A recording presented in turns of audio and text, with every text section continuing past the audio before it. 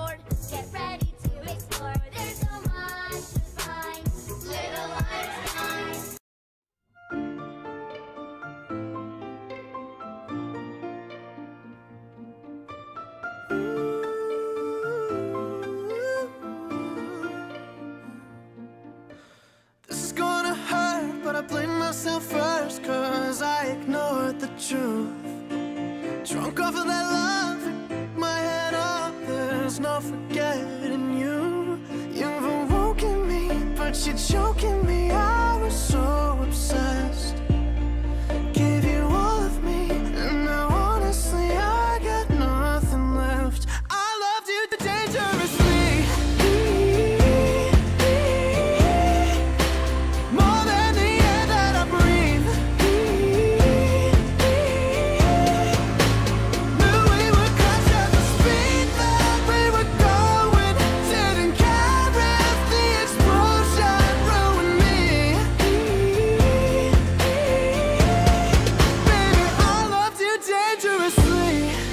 to be